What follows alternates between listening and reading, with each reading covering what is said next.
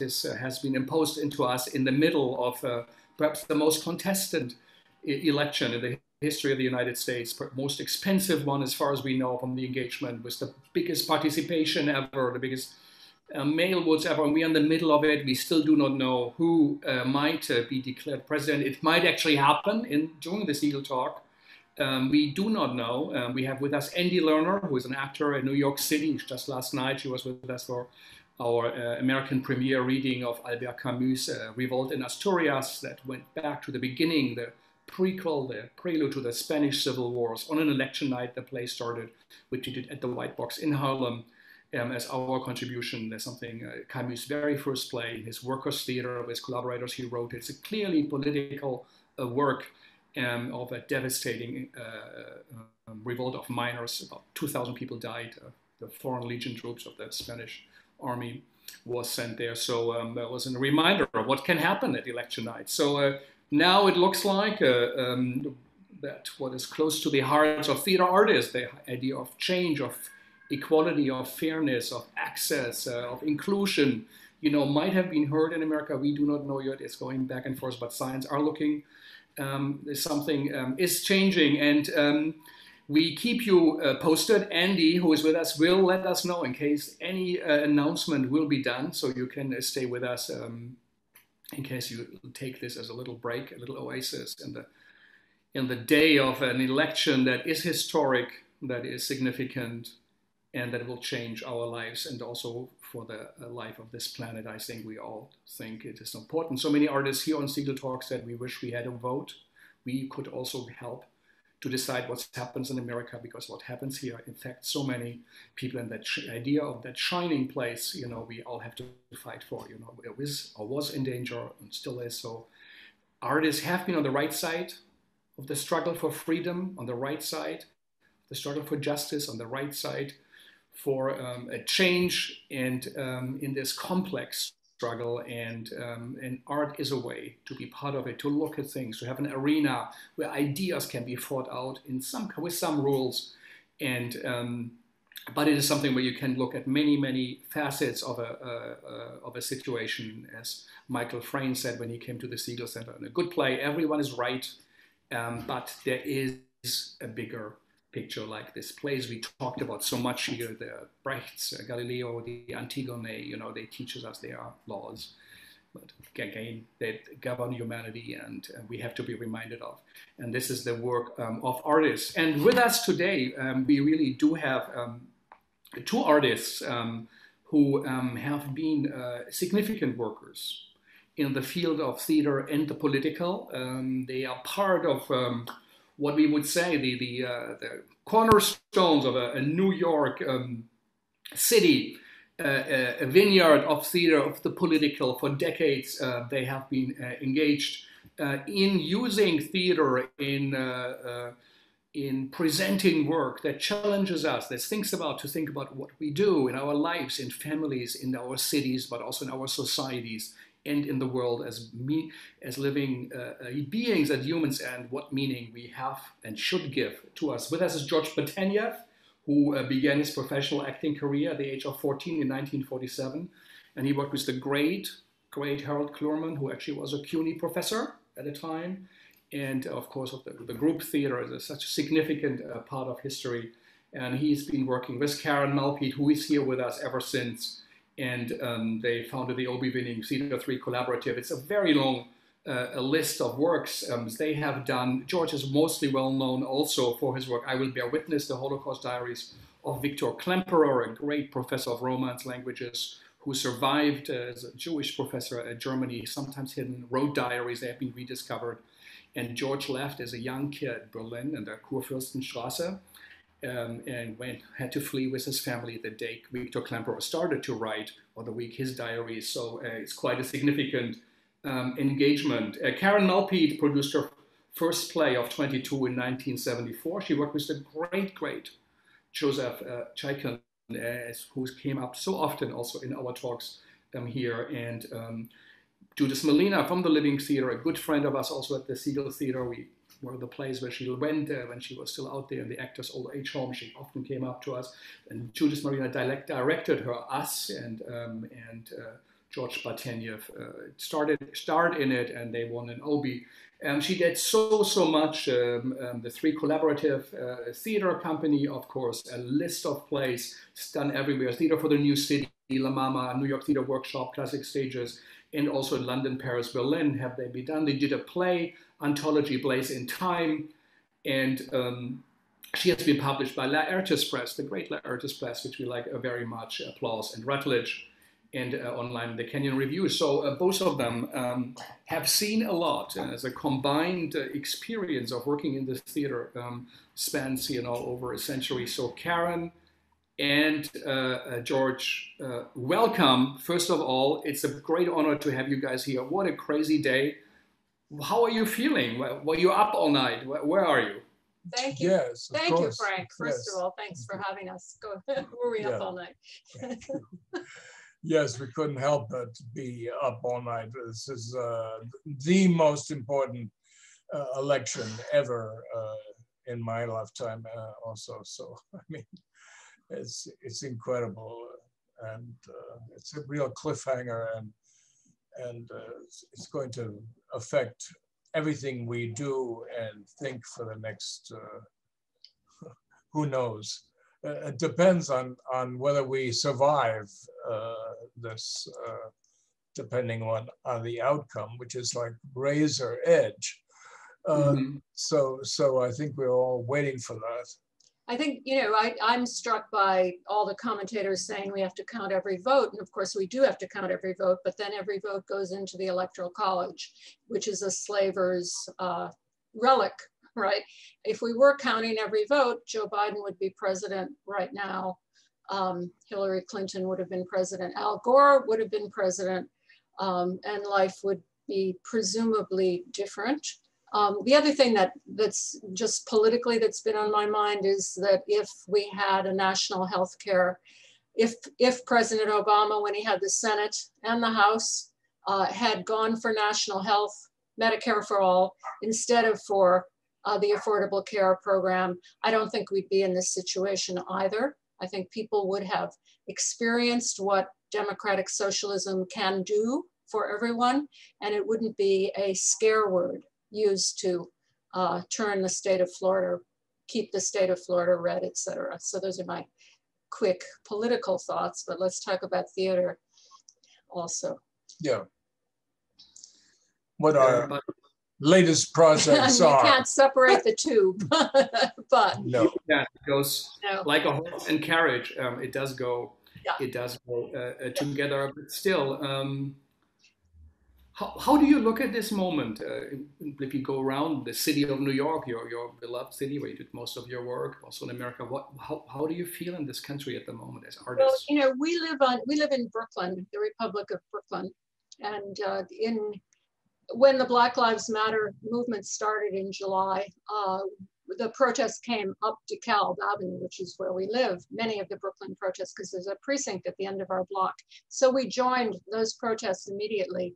And out of that, uh, I, out of that and the COVID crisis and uh, my reading of Euripides compulsively since this all started, um, I wrote a new play called Troy 2, which is one of the two plays that we are now working on. Um, and this will be an international collaboration with Avra Sidiropoulou, who you've had on the show.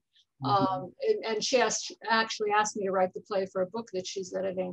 Um, so Troy 2 uh, looks at um, the COVID crisis, the climate crisis, and the Black Lives Matter crisis in a poetic and, and wild, uh, wacky way, uh, many layered and many dimensional. Um, uh, and you always read a play in the moment it was written and then you read it against the history of the moment that it's in. And although this play is very new, uh, the moment that it was written in in the summer is a bit different than this moment. And uh, this is a crisis moment of democracy.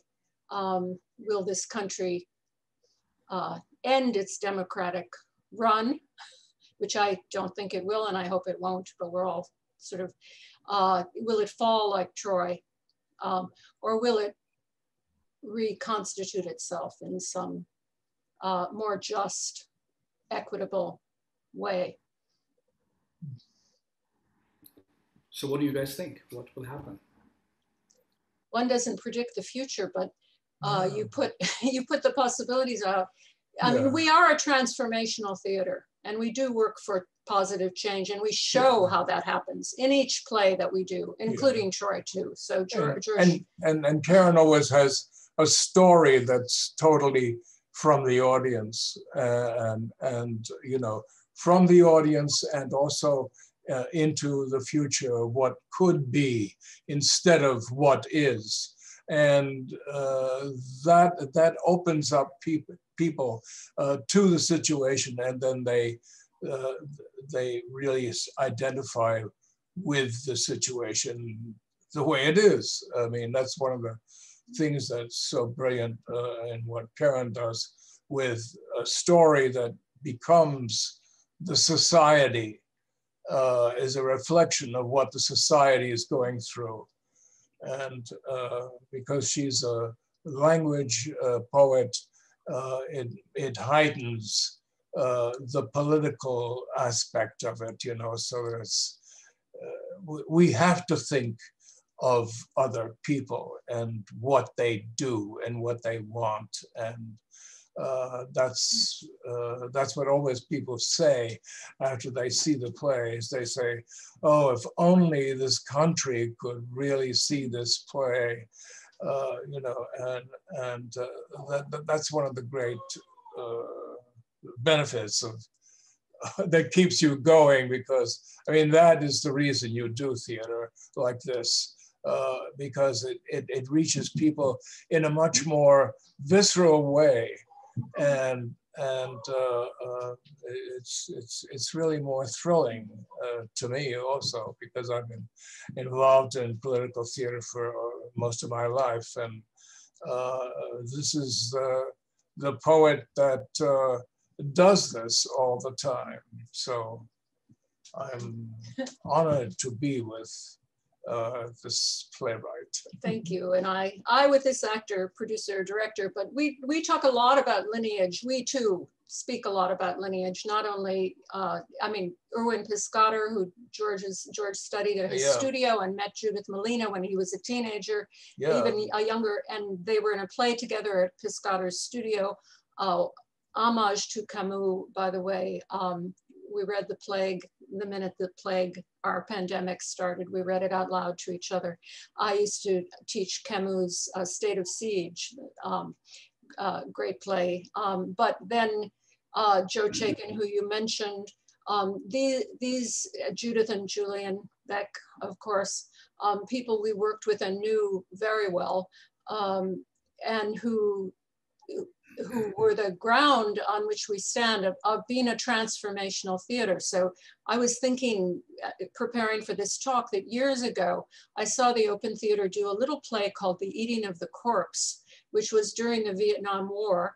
And it was actors very uh, uh, aggressively and very realistically eating the pieces of an actor who was uh, prone on a table, who was a, a, a Vietnam soldier who had been killed in Vietnam and devouring the corpse. And, and just last week, uh, a Zoom reading of my play, uh, Dinner During Yemen, which was done in 2018 at the Signature Theater, was redone. And that is a play about two American diplomats, two female American diplomats, eating this elaborate dinner while they discuss the, the starvation in Yemen and the American policy of selling bombs to the Saudis. So those two play, the open theater play from way back then and Dinner During Yemen kind of came together in my mind as two plays about eating, but uh, two plays about eating the world, we might say. Uh, yeah. So all of this heritage that we feel very fortunate to have lived through lives in us now as we go forward, as we do our work now. Yeah. Yeah, I think um, uh, let's go for a moment to Andy. Um, I sound like CNN now, but oh my God, um, something happened? uh, Andy, do we have an update? Yes, just as of five minutes ago, CNN has projected that Biden will win um, three of the four electoral votes. In So that isn't a flip from the 2016 election, but earlier on, Trump was leading in both of the congressional districts in Maine, and they have just projected that Biden will actually take three of the four. So that is our newest. Four districts in Yeah. Okay. Yeah, Three of the four electoral. votes. yeah, yeah. While we while we talk, things are happening. As actually always um, in the world, even if we do theater, things happen and at the same time, and we are often not aware what really is happening. It's hidden from our eyes. I think And though what we're, you know, one of the things that we're all kind of in shock about is is how large the Trump vote is uh, in this election. I mean, it, it- with every virtually every public intellectual, every artist, all the artists against Trump, all the groups I belong to, again speaking against this president for a number of reasons, racism, climate change, the fate of the climate hangs in the balance, and we are an eco theater. We've done many plays, all of our plays have an eco dimension for years and years. Um, uh, so climate, race, um, gender, uh, women's rights, all of this hangs in the balance. And with virtually, as I said, every public intellectual, every artist in the country uh, opposing the current president, to see such a huge vote, uh, huge popular vote for him is is After the way he, after the way he handled that it- pandemic. yes, and on it's top so of the shocking pandemic, it's it's it you you almost don't know where to Yeah. put it. And in some ways, it's a cultural failure. It's it's a it's a it's a um, educational failure. And, and as I say, it's a failure of, of showing people what a democratic socialist country could be like. The example I'm using is national health. And I do think if we had national health, we wouldn't be in this position at all. The pandemic would Yeah. be more managed um, and uh, Trump would not have ever even been elected in the first place, as much less being in this moment right now. Um, the, the, George? Yeah, no, well, I mean, uh, I, I, I think, you know, uh, th- there's a terrible tendency uh, because uh, uh, America, the population in America always wants moderation and uh, they don't want revolution. They don't want uh, that kind of change because they, they ran away from countries who were extreme in their exercise of power and, and over people. And so they want to be left alone most of the time. And so, what is completely terrible is that when you have that kind of atmosphere, somebody can come in and look like a strong uh, leader, and people project what they want onto him. And I think that's one of the tragedies of, of this election is that people uh, identify they'd rather have what appears to be a strong leader than to have somebody uh, who is like a nice guy and uh, is is nice on every issue. Uh, it doesn't work, you know. The Mensheviks and the Bolsheviks proved that. we, Uh, we, uh, they all uh, succumbed to that. we did a play in 2011 that on the 10th anniversary of 9-11 we were in new york on 9-11 and i worked closely with survivors and witnesses of the 9-11 attacks um, but this was a play about the american torture program called another life in which there's a character handel who george played who is who very much prefigured donald trump in in the way that he acted both well towards everyone um, and and uh, the way that he manipulated the language, uh, the way he used language to manipulate people. Um, and we used to say back then when we were doing this this play and we were working with every night we had somebody from the ACLU or the, or the Center for Human Rights or the you know, we had we had the anti-torture people who were defending um, the Guantanamo uh, torture victims and other torture victims. And everybody said, if we do not prosecute the torturers, torture will come home to the United States. And when President Obama, I don't mean to pick on President Obama because he's actually in this in the scheme of things a bright light, but I will say when he said um, uh, we have to look forward, not backwards we all we all just knew that torture would come home and we would see this kind of police brutality escalate because who are the who you know this is a this is a revolving door. You go over to iraq and you torture in abu ghraib and you come home and where do you get a job? Either as a prison guard or in a police department. So the the torture training is is cyclical. And if you don't prosecute torturers mm-hmm. and you don't say that torture is absolutely illegal and immoral, you get it back. It comes back to you. And that's mm-hmm. what we've seen this summer with so many shootings and not just this summer, but this summer sort of, you know, most closely. Um, yeah, but but uh, George played this character uh, who ends up putting his his trophy wife in a in a box in a in a um, chained like a, like a victim. Uh, he played Handel, uh, really uh, manipulating the language in a way that, that sounds very much like what we see now, here now. Mm -hmm. So um, you have done really for, for decades, half a century, both together a century of, of work. Does it work? Is theater in the way you do it. You write a play at home, I think, at a computer on your typewriter, or most probably the computer writing, and then you rehearse it and you play, audience come.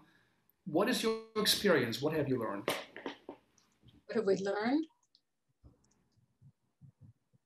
uh, uh, somebody wrote me today on Facebook because I had noted that we were going to do this talk, and, and she said, uh, everybody who's ever seen or read your play has never forgotten the experience.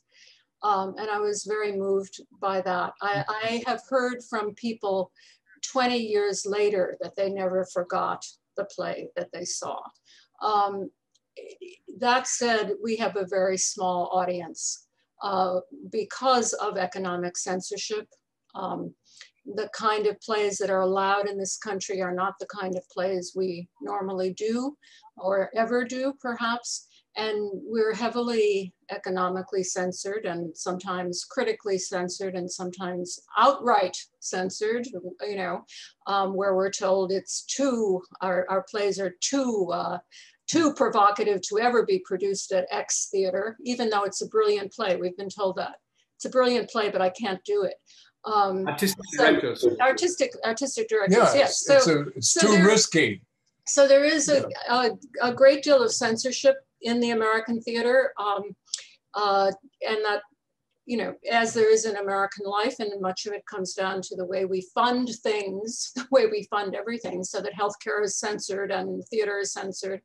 Um, so both things are true. We've learned that we have an enormous impact. The plays really speak to people. They stick with people for in, in the flesh, um, which is what I think art does. It, art should get inside you and art should show that you can change. It, it works its way inside you and suddenly you feel differently than you felt 10 minutes ago before you saw. And you're breathing together with an audience, much is said about this, so you're in community, but you're also changing in your own private specific way. So we know our work has this kind of impact um, but we also struggle to uh, reach audiences. What have we learned about art? We try to make it better each time each time we do it. Well, we uh, I think I think what we do is we try to challenge ourselves uh, into another level uh, of, uh, for, for, for, instance, the, the, the, last play that we just uh, did at La Mama uh, uh, is, a, is the first science fiction play that Karen's ever written. And uh, it, it, takes place in the future and, and, and it's, it was fantastic. uh, uh, and and it, it was totally new a new form uh, uh, and a new new way of writing for her, and that that's one of the marvelous things that that she's able to do. She's able to uh, create a world and a language for that world and a, a whole uh, um, you know, ethos for, for that world and mythology and so on, so that uh, it's a very complete kind of experience. We've also been lucky uh, in our collaborators. Um, Sally Ann Parsons, who has done our costumes since we started, and Tony Giovanetti, who's done our lighting since we started. Arthur Rosen, who's our composer, who's writing a score for the new play, which George will talk about, the other new play, Troy 2 and Blue Valiant. But these are people who we've worked with for, for years and, and who are, we're so in sync that we, we hardly ever have to talk. I mean, we, we communicate in a kind of subliminal way so that uh, George had to turn into an owl in Other Than We, and Sally Ann had to make this costume, which would be an all, all Vista costume change from, from a Noam Chomsky-esque character who's a friend of our theater and a personal friend of ours, um, in, in, from, from that character into an owl in front of the audience. And uh, she had no idea how she was gonna do this, nor did we, until about a week before we opened. We had a very short uh, tech a day and a half for for tech, something like that. Um, but you know the, the, the trust that she would come through, that Tony would do the the perfect lighting. Uh, these this kind of these kind of collaborative, um, and that Arthur would write the the music that we needed. This this collaborative, um, we call our theater Theater Three Collaborative. Kathleen Chalfant is another person we've worked with a lot, and we'll I wrote Blue Valiant the, the other new play for her and for George. I, I love to write for actors I know, especially when they're brilliant actors like those two. And I crafted the character of Hannah Doyle for Kathy so I really built it on what I knew about her. She had been in my play Prophecy. She was in uh, the documentary I did about the invasion of Iraq. She was in uh, Dinner During Yemen at the Signature. So we've worked together, you know, for, for a decade too, George. And, and George and Kathy love to act together. So this is a great pleasure. There are three people in this play and a horse. The third, yeah. the third person is a, is a child, an immigrant child who's escaped from a detention center. Yeah. Um, and then the horse, uh, who will be played yeah. by a musical score. I turn it over to you. Yeah. Well, you, you I, say everything? I don't know. I don't know what else I can say now, but it's a it's a very unusual play also, but because it, again, it's it's in a totally different universe. And it's and it's the first play that Karen's uh, written that's is seemingly completely realistic and in in real time. The play seems to go from one scene to the other just in one span. Uh, uh, and uh, it, it, it's quite marvelous. Uh, so and, and, at the end of uh, uh, at the end of also it, it's it's very very it's very unusual. I can't I can't really describe how the ending works, but it does. It, it's it's it's a different kind of ending, totally, uh, um, but totally in keeping with the style of the play, and and and uh, and it's all about uh, really healing, mm-hmm. Uh, the healing of an animal that is as complex as any human and uh, uh, the, the same issues of uh, healing and trauma and, and, what does it mean uh, really to try to heal an animal that you know you cannot communicate with how to communicate with an animal uh, it, it's it's uh, it's extraordinary. So uh, we're very excited about that. And we're going to do. Blue Valiant. And we're going to do it. We're going to do it outdoors uh, at a rescue farm. Uh, uh, for animals, for for for horses in particular, isn't it? No, it's actually this is an eco farm where oh, we're going to do it. Eco. We hope to do it at a rescue farm, but the first date we have is uh -huh. at Farm Arts Collective in Pennsylvania in May. We'll do it outside in May. But I've written a lot about animals actually. I, I grew up on horses. Uh, I was a horsewoman um, and would like to be again someday. Um, uh, and I ride whenever I get a chance to ride. Um, but the second play we ever did together uh, was a play called Better People, which was about genetic engineering. It's kind of mad satire on uh, genetic engineering. And in it, a very rare beast walks into George's lab and swallows him. Um, uh, the beast says one word, and this was a puppet made by Basil Twist. It was one of Basil Twist's first uh, New, New, York, York yeah. New York gigs. Um, this yeah. beautiful big yak, anyway, uh, who has speaks one word, rendezvous. Um, and the anyway, there's that play, and then of course extreme weather. A frog, Sniffly, is is one of the central characters in extreme weather. And in Blue Valiant, the horse, Blue Valiant is a central character. Blue Valiant I wrote before the pandemic, um, but it's a play about grief and healing and healing from grief. So in a way, it's it's uh, strangely in this this moment as being a play that you know speaks to so many people. Unfortunately, as as we grieve the loss of so many people we knew and and uh, don't know but know are being lost. Um,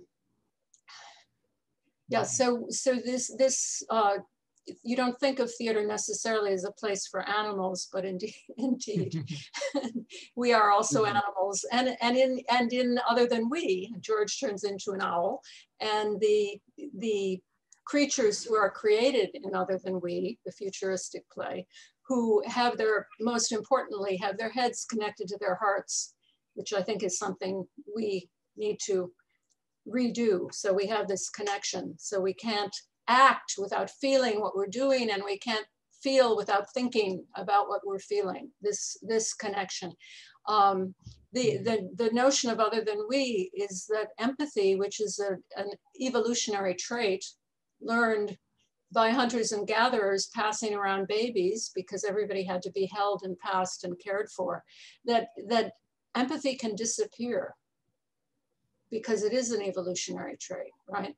And this mm-hmm. notion struck me powerfully. If empathy can disappear, which I think it might be doing in our current world, then we have to reinvent empathy. We have to re-up our commitment to this head-heart connection and this way too. So we're connected that way to others as well.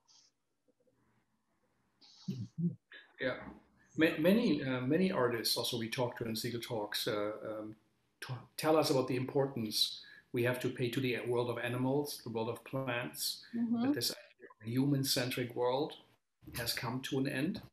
Not only are we perhaps threatened as a species now, um, just as a mind game, if there's no vaccine for this virus, you know, we might not survive. Mankind might not survive. And there's these books out like Requiem for a species that has never been as serious as it is now. Um, if global temperatures go up, as we all know, you are in a hospital and you have high fever, one degree more will kill the patient. The same will be with the earth. So the idea to put plants, the critical zone, the 30 feet above us and below us, into the center is of significance, especially animals. Yes, uh, yes, absolutely. Yes, that's partly what other than we uh, is about, uh, because it's uh, it, it's about a, a inventing a new creature that is wiser and smarter than we are. So we're, it's not dominated by fear the way we are. Uh, and so uh, you know, the, that's one of the wonderful things about the, uh, other than we, it always has some kind of central theme. Uh, it has a way of uh, taking the central theme and the story and, and putting them together so that they're one experience of that idea. It's, it's very yeah. good. Yeah. So um, tell us a bit about the way you work, also dramaturgically. We're going to have next week. We have we talk about theater of the real, uh, documentary theater. We have Carol Martin with us. You work as writers and with music and with set design, costumes. So let's say you have a theme like animals. So how does how do you guys as artists? So when do you say this is a good story? This is how we work. Um, this is how we think in our world, you know, we, we, Uh, we, we make decisions. What is important? When do you know what what to put on stage? uh, Karen, I think, mostly uh, invents uh, the the initial uh, idea, the initial, uh, and and the, and then she spends a lot of time uh, working out the story, the plot, uh, uh, and that takes a long time. So. And- and then and, So and then finally, and then finally she lets me uh, uh, perhaps read the play and that's when the fireworks start uh, between us because uh, we, we are usually at, at 3 a.m. We're, we're talking about, uh, you know, hey, wait a minute. Uh, you're not going to do that, are you? Uh, You know, in the middle, in the middle of that scene, you know, and and so we start uh, arguing, you know, from then on, and and uh, that that's one of the things that made uh, the Klemperer such an incredible uh, experience because we took the diaries and we had to if you know the diaries they're the, the, the i think the most incredible diaries of the 20th century. They it's like war uh, uh, war and peace you know uh, because it has so many stories that you want to keep and you can't and if it hadn't been, uh, if I hadn't been working with Karen, uh, you know, she would have uh, allowed, she would not have allowed me. She didn't allow me actually to to uh, keep some of the stories that I wanted, uh, which I thought were brilliant. They were brilliant, They but were you brilliant. can't you can't keep everything. You have to know how to edit so that you really uh, keep the power of uh, what you're trying to do. So I can be a little So- bit specific about certain plays. I read a tremendous amount. I'm I'm a I was trained not to write plays but to read plays. Uh, my earliest uh, loves were Yeats and Augusta Gregory, and that that combination, two people who made a theater that changed the life of Ireland, uh, quite literally, right? um, two poet, a poet and uh, a woman who, who became a playwright at the age of 50 and wrote 50 plays before she died. So anyway, I grew up reading and I, I'm a reader, I'm a great reader and I, I read a lot and I research a lot. So every play has enormous amount of research before I start to write it. Uh, with the Klemperer, for instance, I was researching something else and I read the Klemperer diaries and a little voice came into my head and said, why don't you do something nice for George? Show him these diaries and suggest that we make a one man show out of two volumes, out of 600 pages of, of diary, right? And so we set about for several years editing this diary and we did not want to change a single word of the Klemperer. He's a brilliant writer and editing his diaries was also a great uh, writing workshop for me. Uh, so we, we edited and edited and edited uh, down to two different one-man shows, which we toured for, George toured for four years in Europe. Um, so that was one, uh, one thing. Um, then, you know, uh, uh, um, just say Troy 2, for instance, uh, the, new, the newest play, I was reading Euripides uh, when the pandemic started because he's my favorite of the Greek playwrights, although I love all the Greek playwrights and I read them and teach them also obsessively. Um, and I'm very interested in theater as healing, as were the Greeks, and theater as a way of increasing democracy, as were the Greeks, and theater as a way of dealing with trauma. Uh, Euripides is the angriest and the most pacifist of the three playwrights. And I was reading the Trojan Women kind of over and over again. and, um, and then the idea of Troy too, T-O-O, Troy also came into my mind as the city, as our city went into the heightened, the April uh, height of the pandemic, uh, when it was very frightening. And um, yeah, very frightening. And then of course, on top of that came Black Lives Matter and, and the climate crisis. I teach environmental justice as well as theater. And I'm, uh, since, uh, since the play Extreme Weather, I've been sort of known in that world as, a, as an environmental writer. Um, uh, so, uh, so, you know, you, you're, you're reading and then something clicks, something, something about now, something personal, but also historical. And those three things come together, what, you, what you've studied, what you've read, what you love, uh, what is happening in the world, and then some personal connection. And when those three things come together, then I have a story. Then I then I begin to invent the story. You don't have the story doesn't fall into your head. It's it's trial and error. Um, uh, writing is rewriting, and I do a tremendous amount of rewriting. Usually, sometimes things come perfectly. But how long does it take from idea, first draft, finished draft? So how long do you work? It's totally different with every play. It's completely different with every play. I mean, in a way, we're always working because once I show the script to George and he says, I don't understand this at all, what's going on here? and, then, and then we work our way into it. I mean, he comes from, I come from within it and he comes from outside it. And at a certain point we meet where we're both working with something that's outside of both of us, which is the creation of the, of the, of the actual production. Um, I'm so, so, so fortunate in in my collaborations, and especially the closest one is with George and some of the others I've mentioned.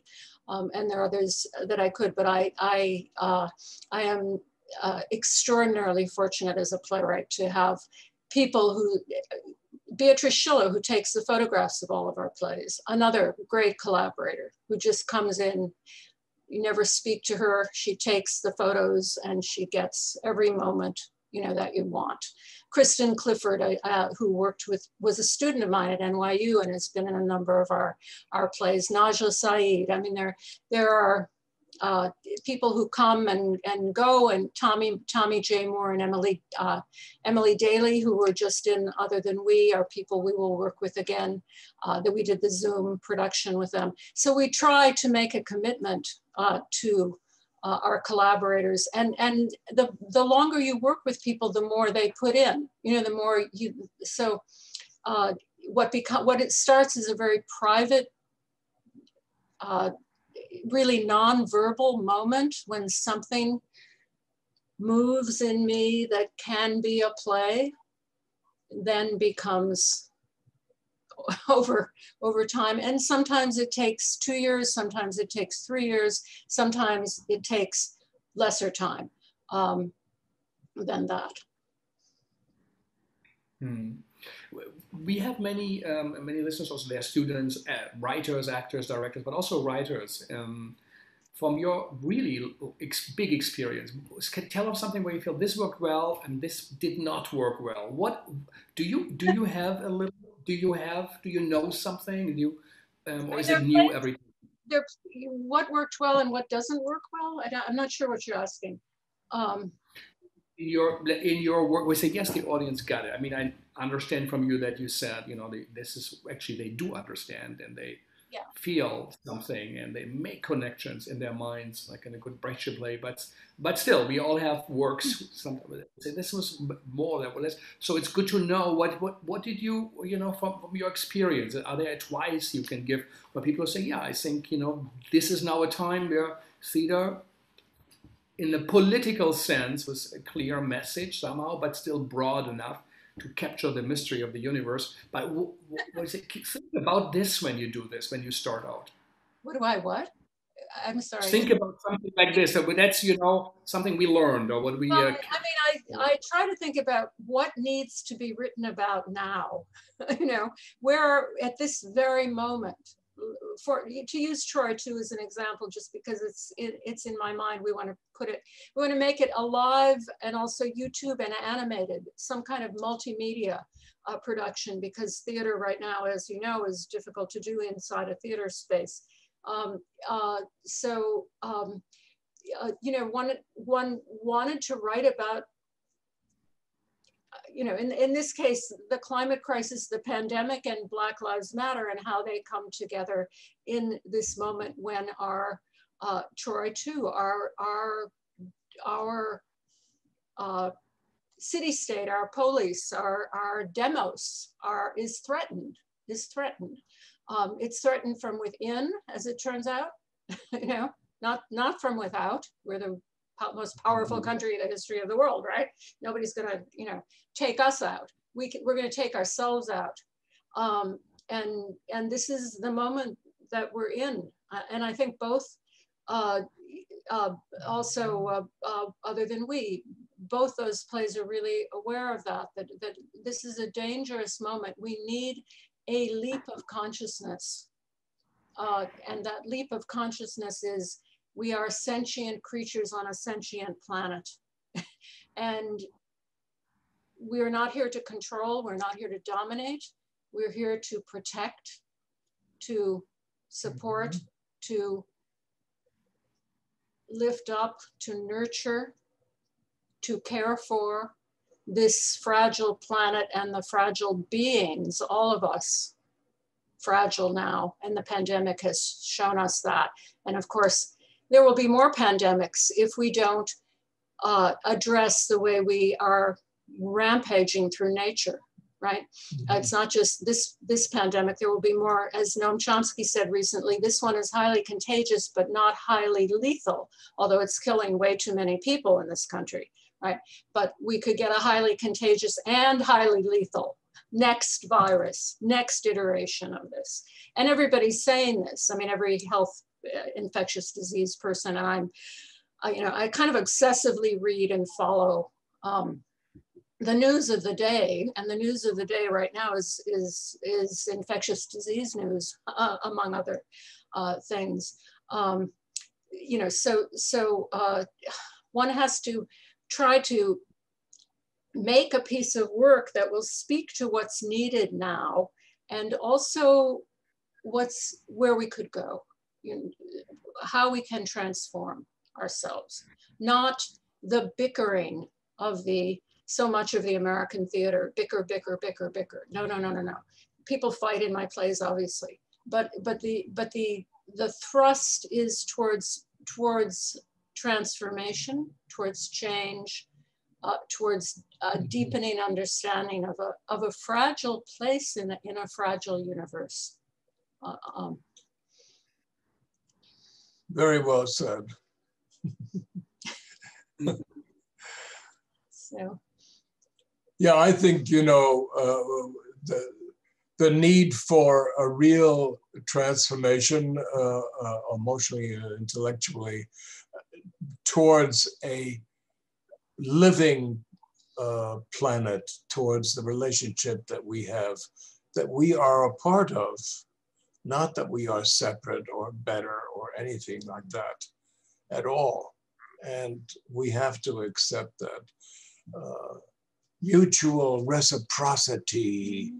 That's what we need. And the, the other thing I would say too is beauty um, of language. I mean, I'm I'm a great, I love language, um, and I love acting, and I find nothing more beautiful when than when a beautiful actor, a physical actor, an actor who's been, George is a classically trained Shakespeare actor from RADA, no less. Other, you know, aside from his political training, he has, as I do, we have very classical theater trainings. And if we're asking for advice uh, for young people, I would say both. You know, yeah. you have to read the classics and read and reread.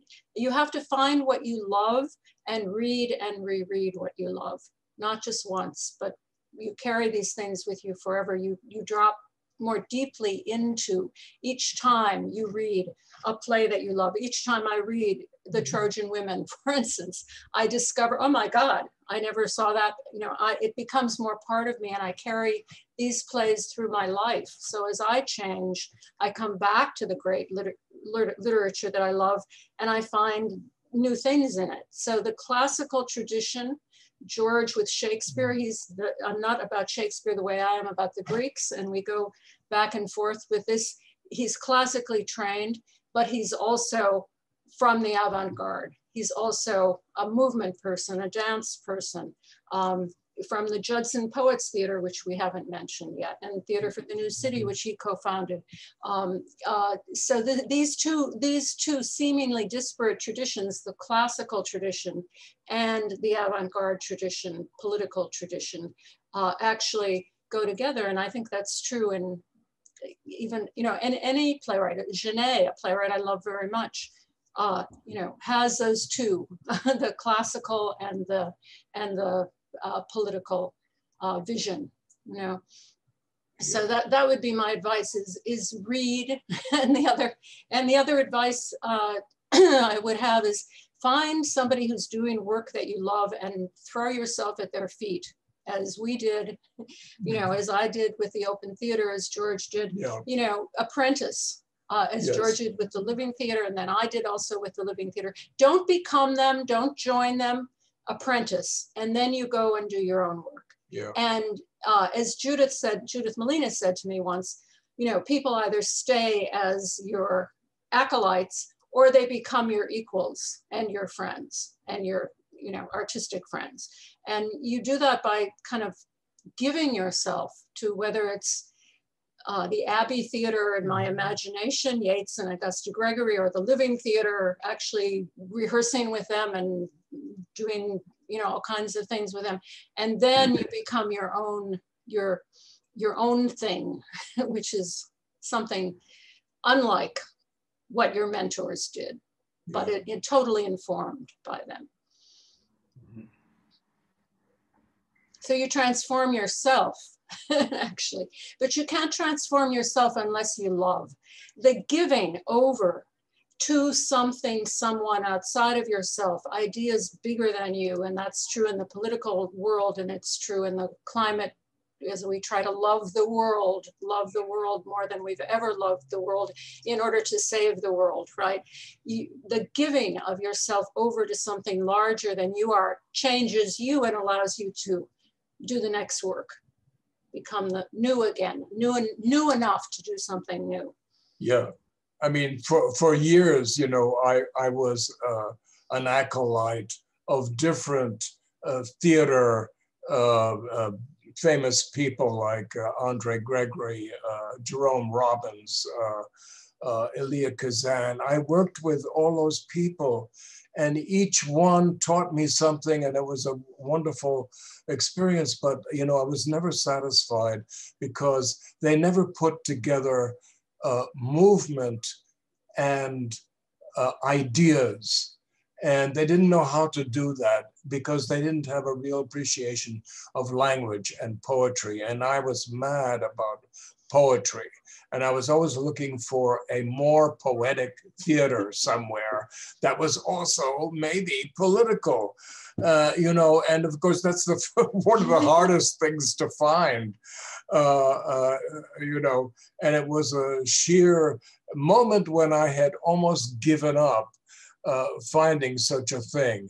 Uh, uh, when uh, Judith Malina walked in with Karen and her new play, and it was uh, Judith's return to America, and she wanted to have uh, two two American actors do this play, which where two people play six roles. They in- play in their themselves and their parents as and lovers. their parents and So their it's- lovers, it's- and it, uh, it's it's amazing, just it's amazing piece. And I right away when I start to read it, I said, "What? What? Wait a minute! What is this?" And I was so uh, thrilled to find this imagist uh, and also very physical theater uh, uh, that that uh, used language to put you and into a situation right away, uh, just to leap into the situation with the language, and it it was uh, it was amazing. And for So- me, the thrill, how we fell in love, the, for me, the thrill of watching this actor physicalize my language. so there is there there's a lot of nature in us. There's always a lot of nature in all of my plays.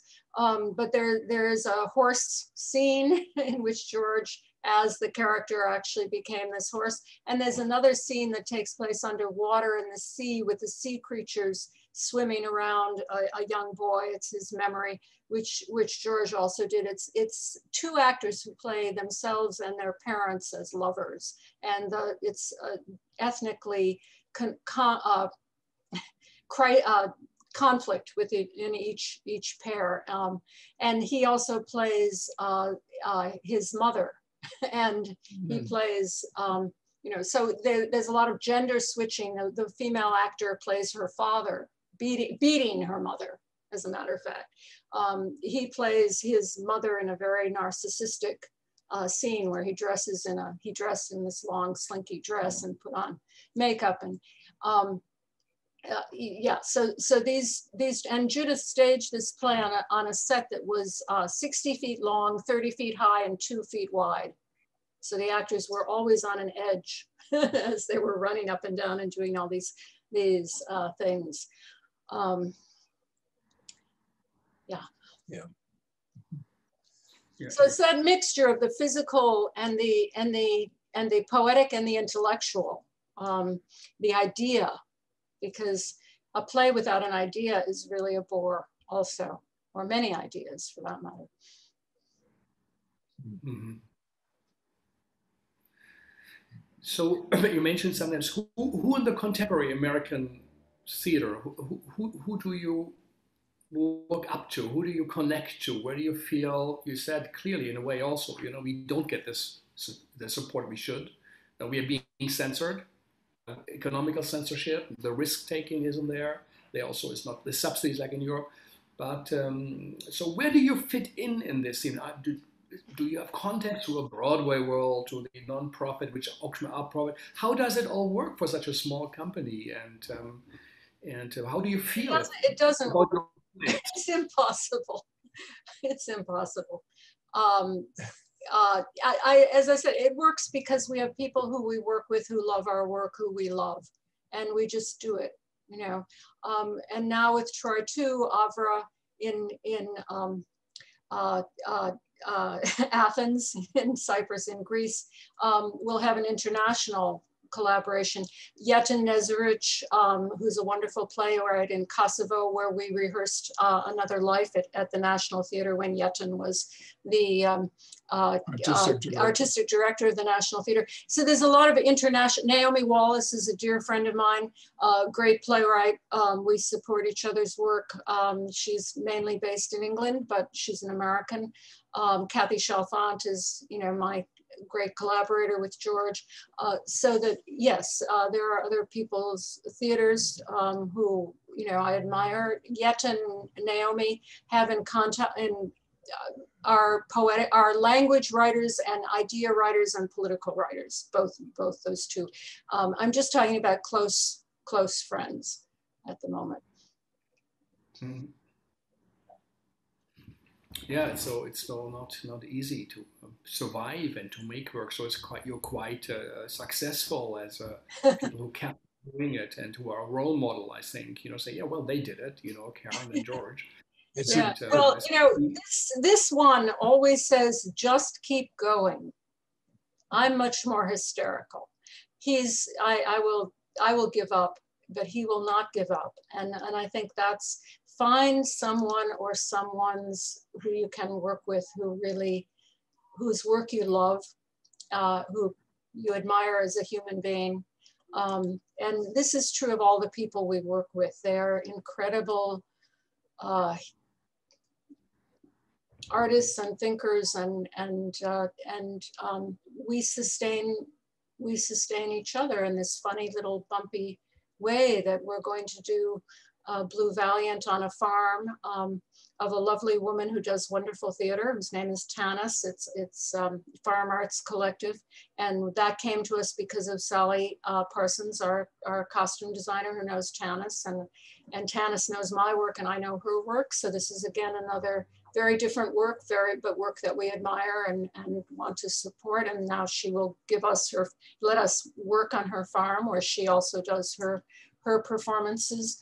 Um, again, Avra found me uh, because she asked around in Europe uh, if there were any American playwrights and a couple of people uh, who knew my book, um, Plays in Time, which was published by Intellect, which is an English publisher, uh, suggested me. So, so there's a kind of international web of, of uh, artists who uh, whose work we, ad we admire. We did, when we took extreme weather to Paris, we we co-produced it with with a Swiss um, French uh, company and worked with French and and Swiss French actors in English and in French, um, and that was another wonderful international collaboration.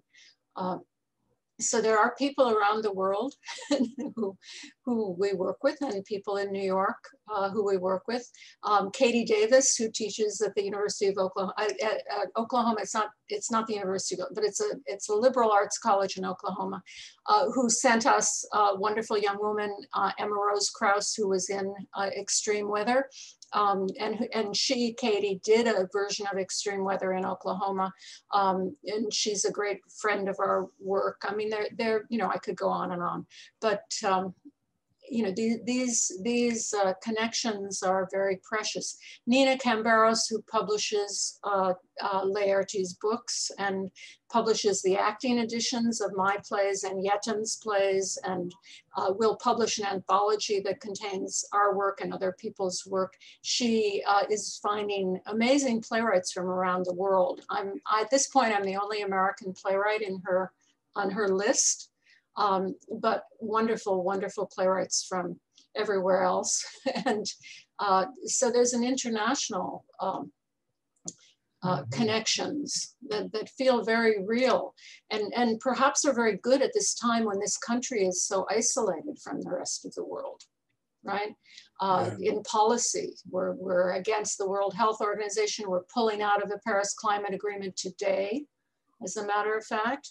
Um, uh, and yet we as artists are reaching out uh, around the world to other artists and, and having more and more of international collaborations. Hmm. Uh, George, if I may ask, how, how, old were you as a boy when you fled Nazi Germany with your family? Six. I was six. I was six when when my brother and I left. Maybe tell us about the moment, and then also, does that inform you? Is that the reason why you do theater, or uh, is that uh, dependent on? I think it informs everything that I do. Uh, my parents were both dancers. They had a company in uh, Berlin, and they toured around Germany uh, in the 20s. And uh, then they finally got a bad review in, in the Nazi press and my mother said, you know what, I think it's time to go. Uh, and my father didn't want to go because he said, oh, well, but, but, but uh, we're in the culture. They're not going to bother me because he was Russian Jewish. And uh, my mother said, oh, no, oh, no, not this time. this is different. And, and uh, you know, so uh, they came to America first to see if they could make a living and then they sent for us finally uh, uh, in 38 and 39. We got out in 39. Uh, so yes, uh, that experience there definitely uh, stayed with me forever. And when I, when I was in high school, uh, the McCarthy hearings just shocked me out of my mind. I couldn't believe that such a thing was possible in America uh, that uh, this one character uh, suddenly had, uh, you know, taken over the, seemed to take over the, the Congress and the Senate and so on and so forth in this obviously uh, uh, really horrible way that he was, you know, uh, getting people uh, to commit suicide and and and you know uh, lose their jobs and so on and so forth. And I just thought, my God, it can happen here, uh, you know. And uh, one thing and another, and then I was after I was in Judson. I, I, you know, Judson was just pure poetry and and a liberation for me because there suddenly I could put the language together with a movement and uh, the style of those plays, which were very free and open. Um, and uh, then, you know, I decided, well, you know, let's start a theater of our own. uh, and stop complaining. Uh, you know, let's just do do what we want. And, and of course, in the beginning, you know, there was so many poets and so many playwrights, so many people who had something important to say. Everybody wanted to had something important to say. And that we came from that tradition, both of us. We worked with those people. We were attracted to those people. They made our lives uh, meaningful and suddenly uh, we, we had uh, a direction. Uh, but it didn't come, you know, like uh, it wasn't like one door opened and it was we were in. It took a, a number of experiences. Uh, I mean, with uh, uh, Jerome Robbins, for instance, and so on, who wanted to form a, a poetic dance theater. And I thought, oh, this is it. I finally found the person that I want to work with forever and be in his company, you know. And then it turned out he didn't have an ear for language. And so, you know, it the whole thing collapsed. And that really mm-hmm. upset me because that was the hope that I had had to find this theater where I could make a synthesis, you know, of two things that would make theater um, more meaningful, more exciting, uh, and uh, you know, I want to use both what my I, I, got from my parents in the way of movement and and dance, and and also you know what I what I loved about the same year I was in the in the Broadway show, I went back to Pescadores and and and was in uh, played Bottom in Midsummer Night's Dream, and I language, you know. And, and, you know when we you know so that was it. I had to put the two things mm-hmm. together and find somebody.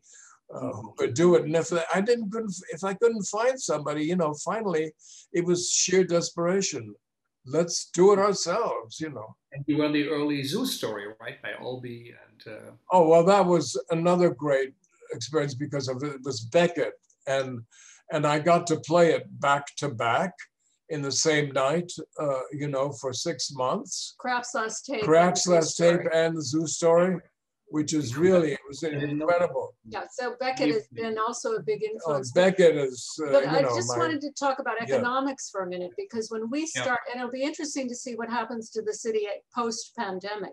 When we started out, you didn't need money to do theater, and nobody thought about money. So the Open Theater wasn't thinking about money. Then they started to get grants, and then they disbanded right, right, right at that moment. But my first play, A Lament for Three Women, was done with with uh, Open Theater actors uh, who Joe put me in touch with, and we did it in Sibylla, Sibylla Haynes' Soho Loft. At that time, Soho was not Soho as it became. It was a grungy place where artists had big lofts, and we did it in natural light so that it started at, it ended at just as the sun set into the river. And so that lighting that came through the window gave this incredible lighting effect for the, for the play.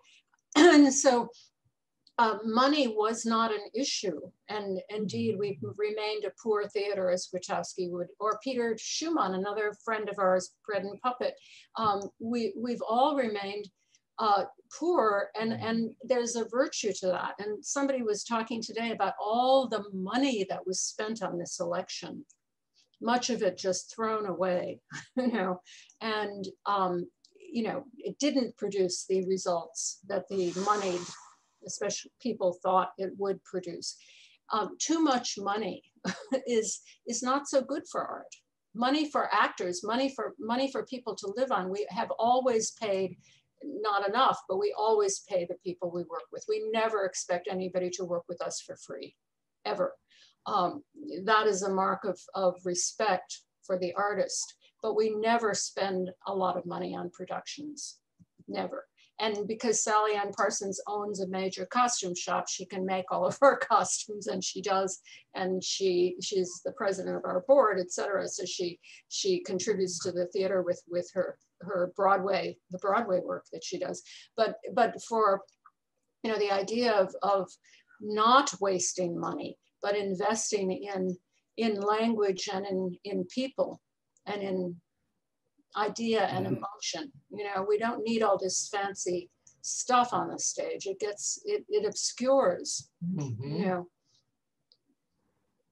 Yes.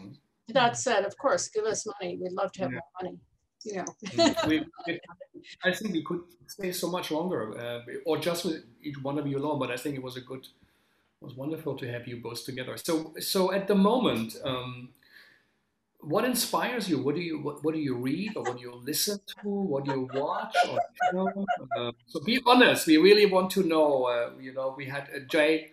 Uh, We Jay haven't here from talked about what inspires us this whole time. You want something else? We've been reading out loud since the pandemic started at night. So we've So you read. sit in the evening, you sit on two chairs in your living room, and you Yeah, we read sit to in each a other. chair in the living room and we read. Um, we started with Camus. We read The Plague and the Stranger, re- rereading. Then I introduced George to a wonderful uh, to Ursula. You read aloud? You read No, aloud, we or read read aloud. We read aloud. We read aloud. Uh, we read. Yes, read We Read out aloud. We read out loud. Oh, it's much better. then we read two or Ursula. many hours? Like it's an hour, or how long is a session when Karen and George however, read to each however other? long we feel like reading, we will stop and talk, or we'll, you know, Yeah. however long. Um, we read, so we read two Camus, then we read uh, Ursula Le Guin, um, uh, um, her two great novels, The Dispossessed, and what's the other one? The left left side of day.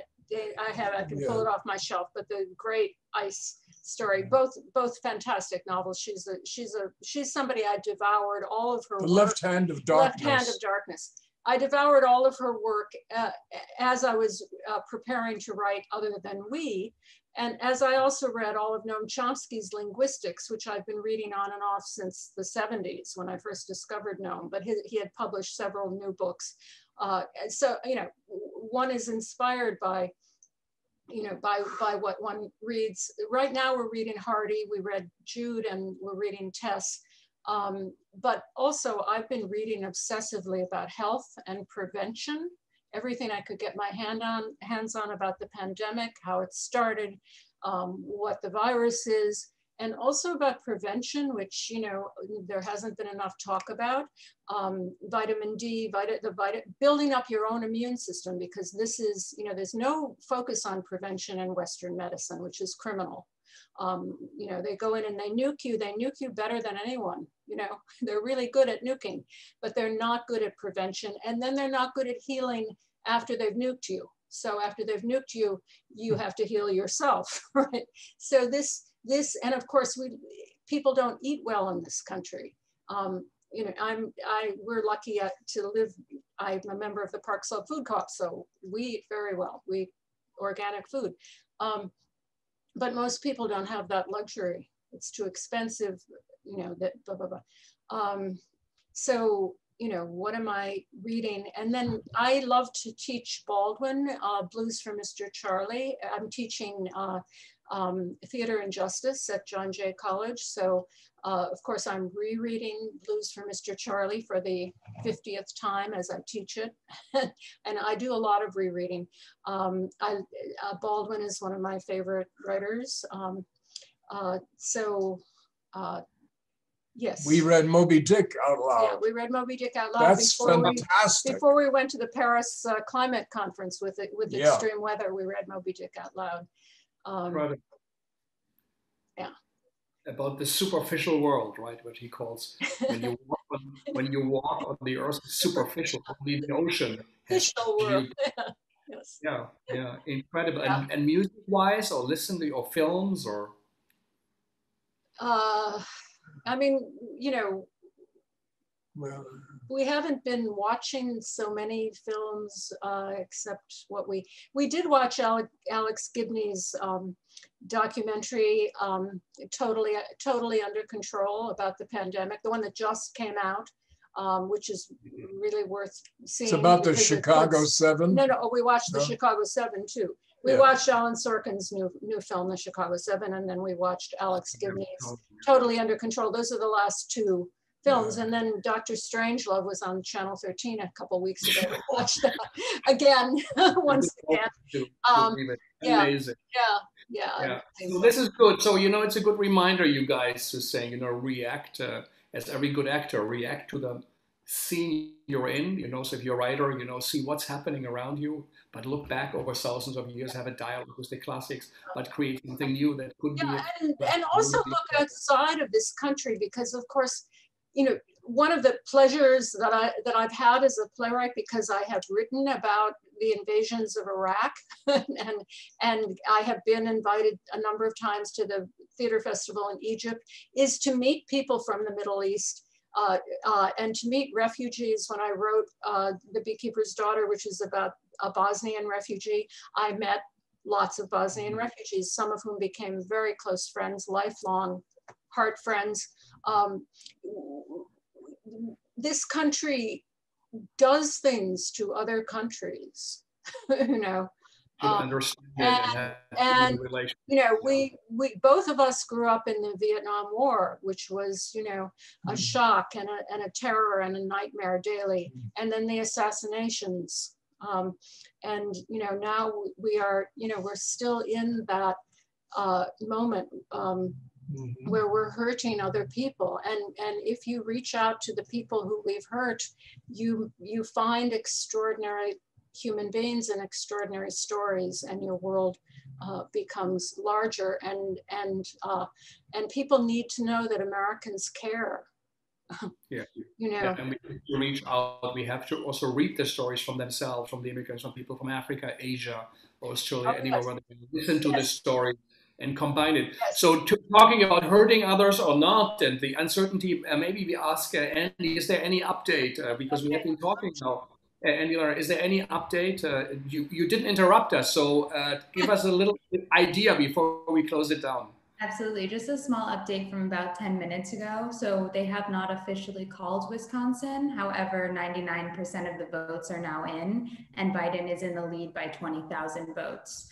So they're only waiting on about 300 left in the small county, but the Trump campaign has already said that they're going to um, request an immediate recount. Okay.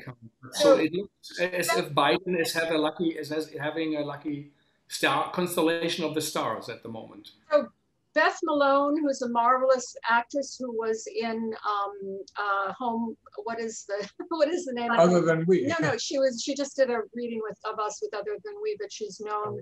for a Broadway show, and the name is totally flown out of.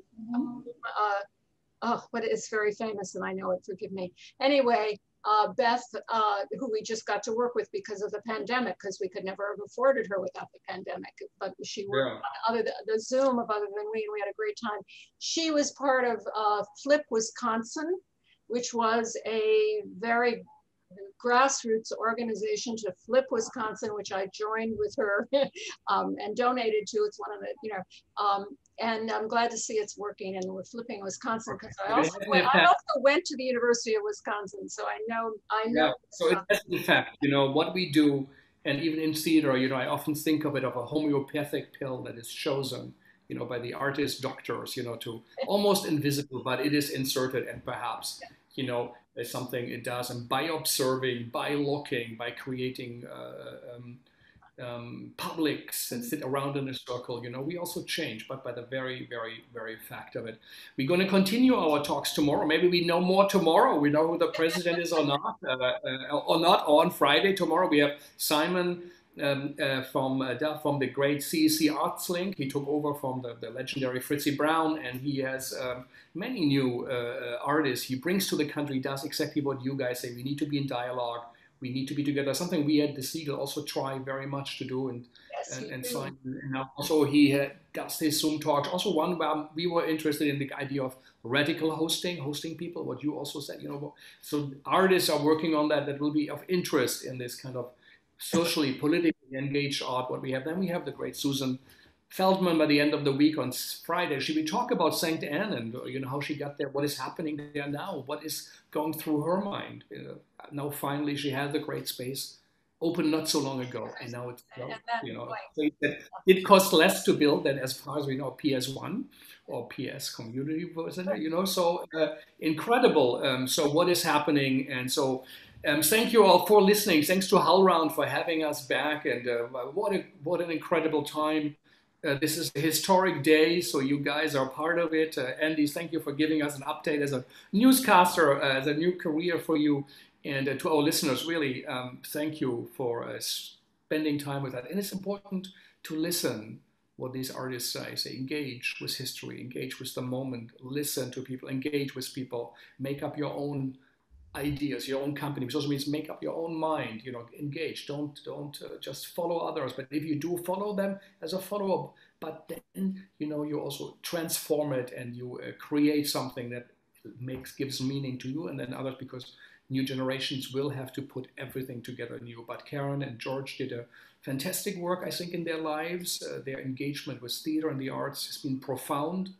It has been influential. Um, it stands up as uh, one of the many possibilities of theater. Hans Thies Lehmann says theater is a house. It has many rooms. In one of the rooms, Karen and George live. There's a great contribution they made with the, also the three collaborative companies. So this is something to really uh, take serious, and it's important, and it's a great contribution towards civilization and towards you know the advancement of the idea of mankind and towards justice and freedom. So um, thank you, you know, and congratulations on what you what you did. And it's important for us to hear it, to hear it again. You all know it, but um, in these times uh, where things are on the line, as we see now, where votes do count, as in the Camus play we did yesterday, with in Asturias, and today, um, so it does matter in the political. But how to do it? How what does work? It's great questions and we have now even better questions. We don't give really answers or explanation, but we explore. So this was a great Great moment. Thank you all, and I hope you will join us again this week. Stay safe. And uh, thank, thank you, you, so much, Frank. Thank you, Frank. You, Frank. It's a big honor having you. Thank you. Thank you. Thank you, Andy. Bye bye. And thanks, Thea and Vijay. Bye bye.